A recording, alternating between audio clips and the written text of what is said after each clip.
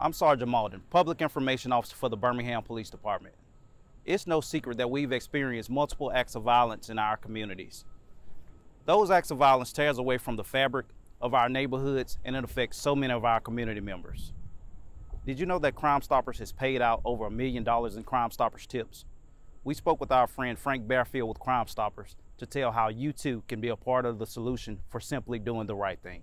Tips called into Crime Stoppers have solved countless crimes, including high profile cases. Crime Stoppers approve cash awards on a weekly basis. If your tip solves a felony crime, you'll be paid in cash and you'll remain anonymous. Really the best deal in town. Here's how Crime Stoppers works. When you call 254 7777, your call goes straight to a 24 7 answering service. The call taker will never ask for your name or any other identifying information. We can't see the phone number, so we have no idea who's calling. So they're totally anonymous.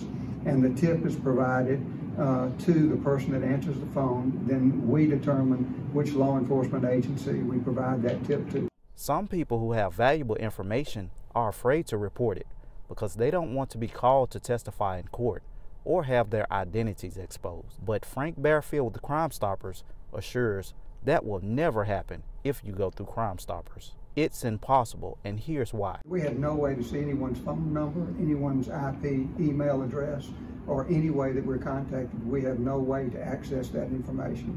We've actually had uh, several defense attorneys uh, try to subpoena that information from us in the past, and they can look all they want, but we don't have the information. It's not here. Okay. It's not on any of our servers or any of that information. So there's a guarantee that if you provide a tip to Crime Stoppers, you will not be summoned to testify.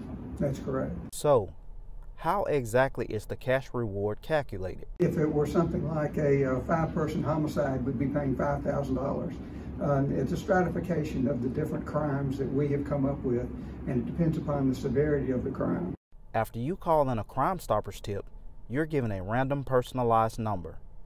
Since Crime Stoppers doesn't have a way to call you back, that number you'll use to keep track of your tip and follow up with Crime Stoppers to see if your tip actually helped solve a felony case and what your reward would be. Then you're given information on how to collect your cash. Very few crimes are committed where only one person has that information. That would be the person who commits the crime.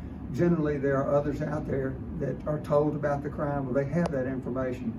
And we want people to do the right thing. All they have to do is make a phone call and they can make a difference in our community by getting people that perpetrate these type of crimes off the street, making every every uh, person safer in our community.